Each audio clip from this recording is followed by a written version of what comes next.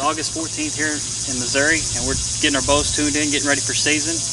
We're going to start hunting Kentucky come September 1st, so season comes just a hair early, but we're more than excited. We're ready, trying to just get our bows lined out, and hopefully we'll we'll have some more hunts coming your way.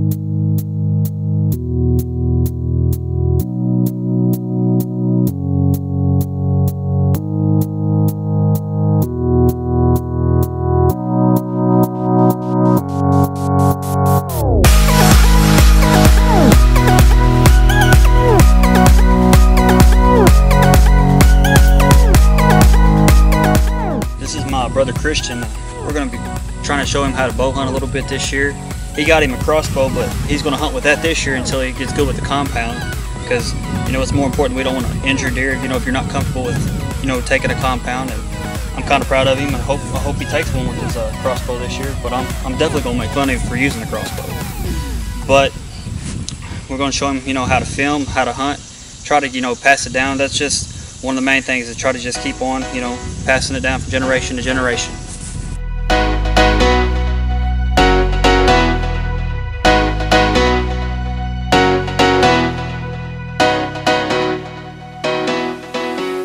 Just finished shooting our bows.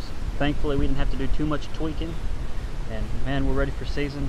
Summer's been long and seems like we wouldn't get here, but we're just two or three weeks away and we're more than ready to get after them now we're just going to practice every now and then and ready to get in the stand.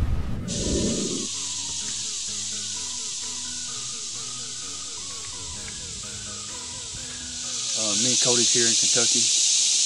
We're trying to, I actually, me and my dad came here Saturday and uh, we didn't have any batteries in the camera and it was dead. So I told Cody we needed to get over here and put some batteries in there before we couldn't get any more pictures of the deer because I'd like to keep them. We've had a pretty good pattern of them coming. I'd like to tell just a little bit about this property. It's a very small property, but I believe that we're going to have some success on it this year. The field that we're about to walk into is only about nine or 10 acres, and it's standing corn this year. They planted corn in it, and I believe that it's made a tremendous impact on the deer. I guess because they feel safe, and it just really helps, not just its benefits with the food, but it benefits because of their security way more.